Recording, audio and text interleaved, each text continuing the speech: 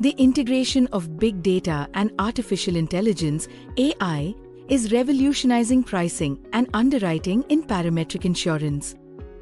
Traditionally, underwriting involved historical risk assessments, actuarial models, and manual calculations, which could lead to inefficiencies and inaccuracies. However, AI and big data have enabled insurers to process vast amounts of real-time data from satellites, IoT sensors, and climate models, allowing for more precise risk assessment and policy pricing.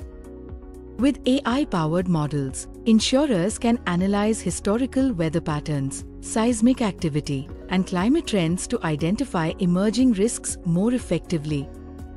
For example, predictive analytics can assess hurricane frequency and intensity trends, allowing insurers to adjust pricing dynamically based on changing climate conditions.